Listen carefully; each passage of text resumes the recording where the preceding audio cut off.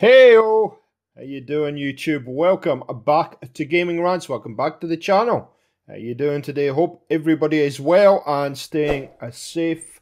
Thanks so much for the support on the segment and the channel, guys. I really do appreciate you all every day, and um, thank you so much. I've only seen at the time of recording the first episode uh, feedback of Gaming Rants. So big shout out to uh, Chaos and Fallout, Dave, Quick Smoke, Mikey, and I, Stella. Thank you so so much for making uh, comments on the segment. I always love it when I get a slightly different point of view from my own. It's how we all learn. And um, yeah, the, the response to the first video was very, very healthy, and hopefully you can build on it with the next couple. So, um, one thing I would like to ask you, and I don't really like asking this too often, but if you guys could help me out, given that it's a new segment, I want to get as much of the gaming community as possible involved in the discussions that we raise and the points that we raise. So if I could ask you to share it out on your own networks, on your own socials, I would really, really much appreciate it retweeting and um, sharing it on your discords and whatnot. I really do want to get as many people in the community involved in the discussions as possible. Um, that's the only reason that I'm asking. I don't normally ask for this kind of help, but um, it is a new um, segment, and for it to be successful, I need to get the support of the community. Okay, so having said that, uh, as you would have seen, the new format we are running kind of every fortnight at the moment, um, and we'll just see how that works. Uh, as it, as things go through, obviously the subjects that I'm covering are going to get less and less and less. So I do need your suggestions on things that you would like me to cover in this segment, and um, if we start to run out of content, then we will maybe just do it once a month or whatever.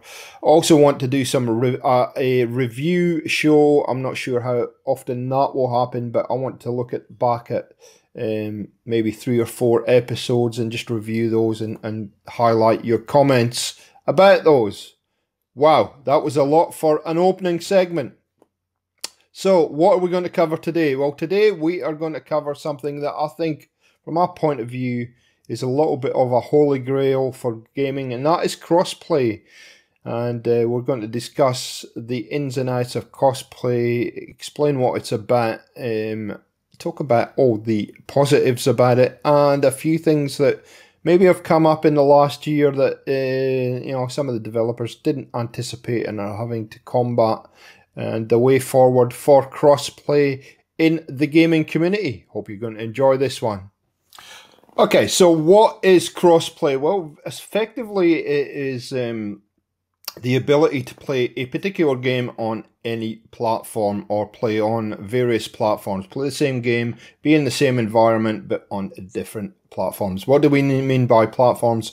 Well, I've got to say, my uh, view on this was fairly narrow until I'd done a little bit of research. I did do research. I do research for the show. I do. I seriously do.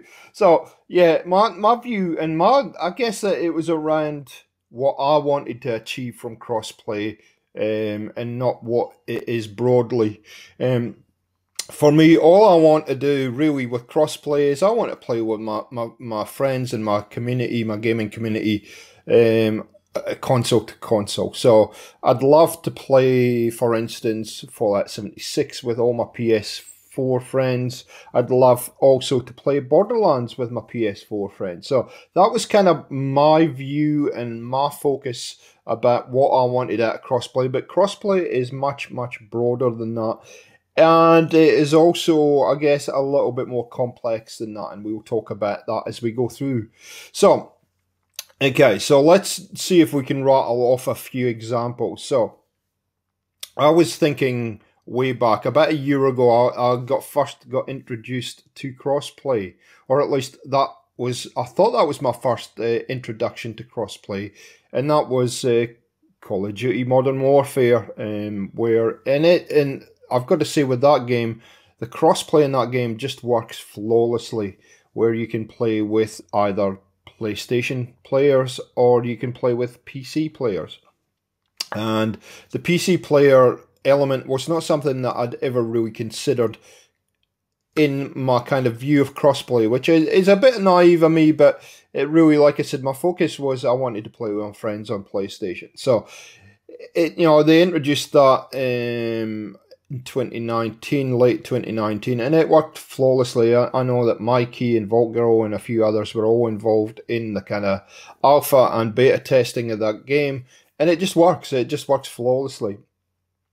What I'd like to do though is take an example of one of the most popular games in the world at the moment, which is uh, Fortnite, Battle Royale Fortnite game, which is a free to download game and actually covers a whole lot of platforms. And, and I think if you're looking for an example of pure cross-play game, uh, Fortnite is is it to be honest. So you can play it on Xbox, you can play it on PlayStation, play it on PC, you can play it on Switch, and you can also play it on mobile devices. So all your Apple iOS devices, all your Android devices, tablets, phones, you name it, you can play it. So I think as far as pure crossplay, Fortnite is the best example that I could find. Now, there is a little um, thing that is developing on the Xbox side of things, um, which makes I think Microsoft very strong in, in as much as giving their um, their customers cross-play over a whole range of things. And um, I'm going to take Sea of Thieves as, uh, and I know a number of you play Sea of Thieves. I'm going to take Sea of Thieves as an example here, but that game is an Xbox One exclusive. However, if you have a Windows 10 PC, you can also play it on um, Windows 10 and play with Xbox players. And Microsoft have done a huge, huge um, favor to the community by doing this because a, a, lot of people around the world have um, Windows 10 installed on the PC. Whether they have a gaming spec computer is another story, and we'll get to that in a while. But you know, if you can think of the number of people that have Windows PCs versus the number of people that have Xboxes, I'm sure it's I, I don't know what the numbers would be, but I'm sure it's there's much more chance of people having a Windows PC that has Windows 10 installed in it versus an Xbox. Uh, I know a lot of people that have PlayStations would have a, a desktop computer um, or even a laptop or whatever that has Windows installed. So if you do, you have access to virtually the whole Xbox One library or the Xbox library that you can play and you can play online and play crossplay with your friends um, playing on Xbox on Windows. So um, that's interesting. The Switch is an interesting one. Um, it's a fairly new console. Uh, it has got some restrictions about it because of the way that the uh, hardware and FPS and everything else is set up on the Switch. But it certainly is uh, possible to play crossplay with the Switch. So, what further complicates this uh, whole cross-play scenario, and hence why it's probably I think we're in the very early phases of cross-play.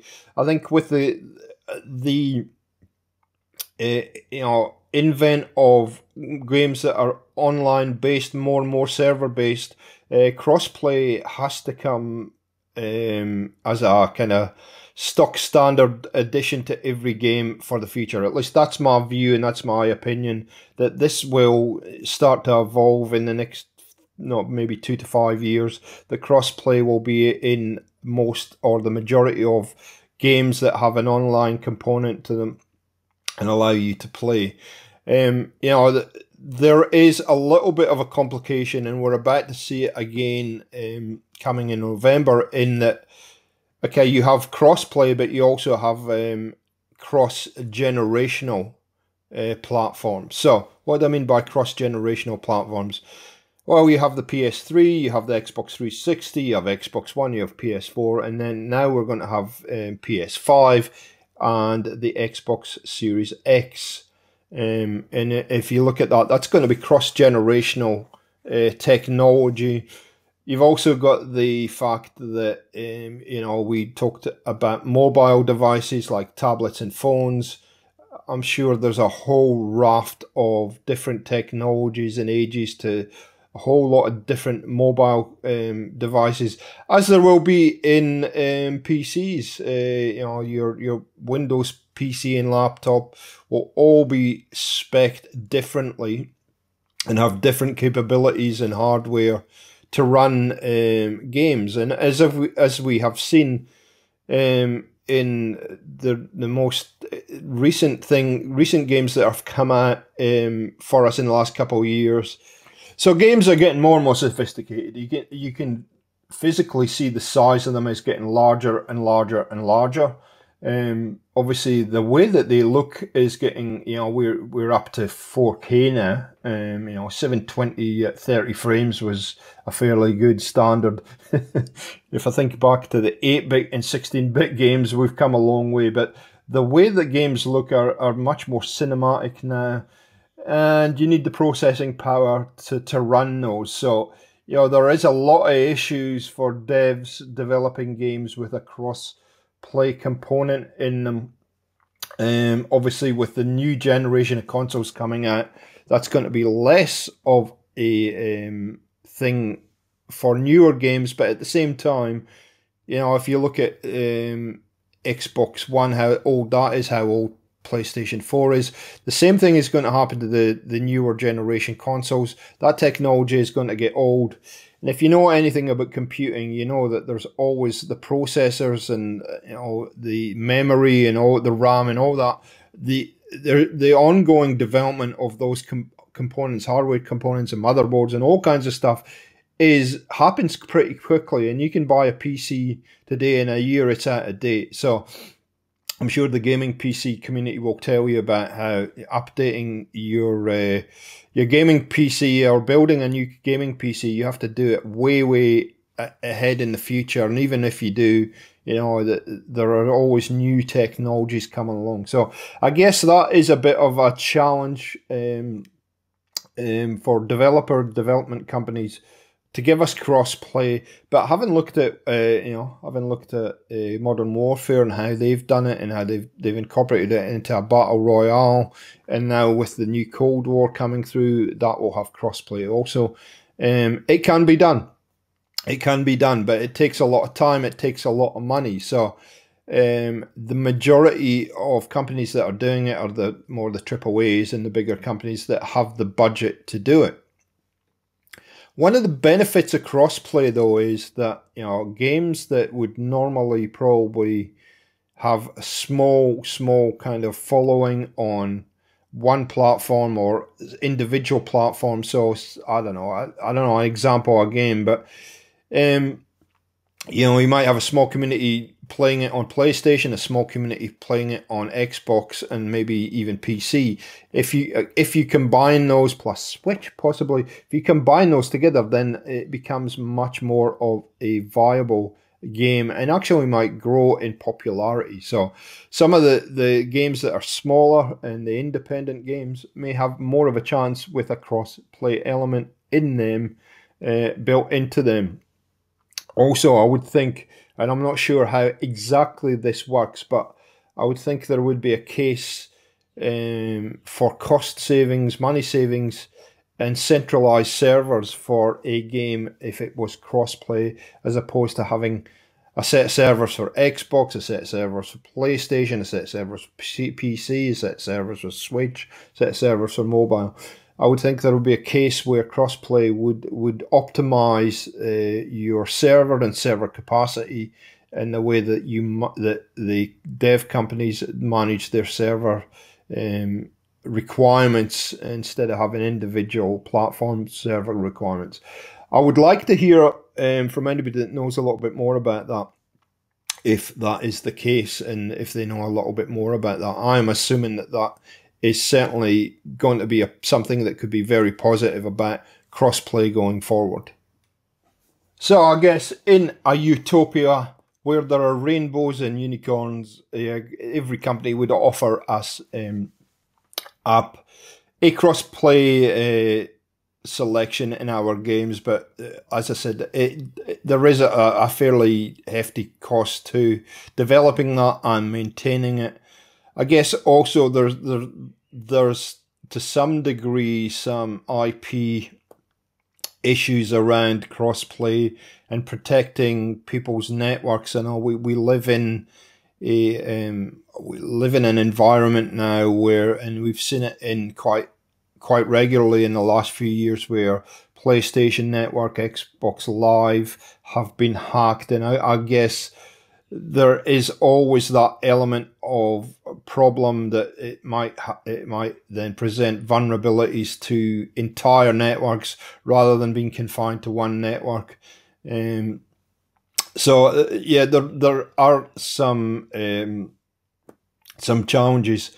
The big one of the biggest challenges that we've seen in the last year, especially on Call of Duty Modern Warfare, is something that I must admit I didn't consider it would would come with crossplay, but that is the fact that people are hacking and cheating on that game in huge numbers. Now, I've got to say that part of this is a social problem um, and something that's been created in the last maybe little while with especially and i'm not picking on the younger generation but certainly that's where it's coming from where we have this culture of um, people always wanting views and likes and many of us are youtubers so we understand this uh, a lot that you know but for for younger the younger generation it's it's almost a peer thing where they they seek and desire likes on their photos on Instagram, their tweets on Twitter, whatever it might be, you know, that recognition. And so um, the cheating element is part of that. It's something that I've never. Look, cheating on something like Call of Duty is not new. Let's get that out there. I, I've seen, you know, Black. I think back to Black Ops Two, for instance that game was unplayable sometimes because because of people cheating. So it's this is not new, but it is a little bit of a disease that's come through with the crossplay on Modern Warfare, and um, you know, unfortunately, and again, I'm not having a go at the um, PC community as a whole, but unfortunately, there is a small minority of people with the and majority seems to be coming from the um, PC players that have the ability to um, access cheats and implement them into the game. Now, having said that, there is, and I'm I'm not going to give the companies that that produce some of these these products any airtime or tell you who they are, but there is um, something that's readily available so there, there. I mean, there's a whole discussion about what I'm about to say, but there, there is a particular product that you can basically um, clip on to your um, controller, what, whatever it might be, PlayStation or Xbox or whatever, and you can program a whole lot of things in. Um, I think that's maybe a, another discussion together with SCUF controllers and whatnot, but you can do that. And then there's a number of sites around the place that that offer cheats. And um, yeah, I don't think it's healthy. I've never ever understood what what people get out of cheating at a game. I, I mean, I play video games personally. I play video games um, for the uh, competitive element, for my personal competitive competitive element to see if I can beat a game on my own or not without any help. Um, sure, we all get stuck on video games at times, and uh, maybe go onto YouTube now um, and and just try and figure out a particular uh, spot we're stuck at. Um, you know that's been going back for years. Where you used to get these written walkthroughs. Um, yeah, we all need help from time to time, but to be consistently uh, cheating on the game and knowingly cheating, and and you know this in recent uh, weeks and, and even today, I read a story about a Twitch streamer um, that just got banned, and there's been a couple in the last couple of weeks um, for blatantly cheating. And you know, these guys are online making it that they are a huge boss player. They're you know the top of the game, fantastic player at Call of Duty, and there they are. They're actually cheating, and it really takes away from those players that are, are, are actually good at the game, and it ruins it for everybody. So I and some people find that amusing that it, that people are raging and they, they get upset. Um, but it, I, I just don't understand what there is to gain from that. But you know, so so it um, so it happens, and it's a thing. And I've got to give big props to Activision uh, this year because Activision have um, obviously they've opened the can of worms that is crossplay, but they've been very proactive in going after um, people that are cheating, detecting people that are cheating, and actually banning them from the game. Um, and I'm not sure if that's Modern Warfare or if that's all Call of Duties because one of the things that uh, Modern Warfare requires is a Activision account, which is a centralized account, regardless of what platform you're on. So you have to register with Activision. So I would suspect that it's potential. The potential is that not only if you're cheating, you could get banned from. Um, we'll take Modern Warfare as, as the example of Modern Warfare, but you might get banned from all Call, Call of Duties that are online based. So, which is the majority of them. Um, so, it, it really is not worth it. They've actually gone after a number of companies legally and uh, with cease and desist notices. And in fact, that's been enough to um, it's been enough to shut down one particular company. And I read again today where a, a company was offering some cheats on under the uh, under the marketing that it was not detectable by um, Activision or whoever. Activision have found a way around it, and they have been able to detect this particular one. And um, now the people that were using it are complaining because they paid money for cheating, the ability to cheat at Modern Warfare, and now they've all been banned. So there was like 20,000 people banned straight off the, the rip. Um, once the, the Activision was able to detect this particular cheat engine, and um, you know, reading a lot of comments, um, it, it, it seems to be that Activision will will detect you. Doesn't matter what you're using, they'll be eventually they'll find you and there is no discussion. If you're found cheating, you're banned and you're banned for life and that's it. Game over. You won't play that game again.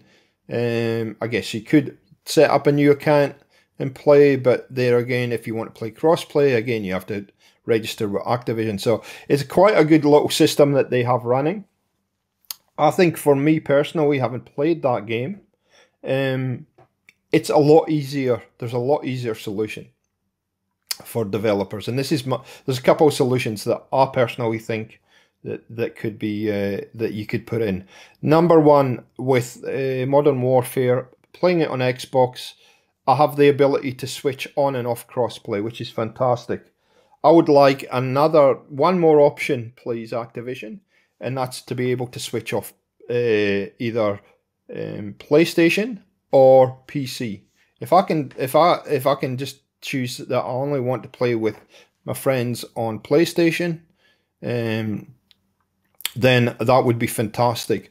I guess the problem is when you go back, if we go back to Fortnite, then you'd have to have several buttons for the different platforms, which I guess is a bit untenable. So maybe they need to have a, a switch for you know for PC, one for uh, PlayStation from an Xbox perspective, it would be obviously PlayStation. It would be an Xbox button, but um, and then another another button for everything else, mobile and Switch and stuff. So that's one solution. Another thing, if I think about something like a Fallout 76, for example, then you know they have introduced private servers. Then uh, that would fix the problem for us because I know there's a number of us in the community, the Fallout community, that already have private servers and just adding that ability to play cross-play but within a private server would also solve the problem and we'd have a huge world all to ourselves. So I would really like to hear your views on crossplay, whether you think it's a positive or a negative, um, especially this cheating element. Is it something that you maybe have something that you think you could um, offer that is another solution to um, shutting out the cheaters? I think you know the, the way that Activision have handled it is perfect because um, the more companies that can do that that have crossplay, um, uh, people will get the message.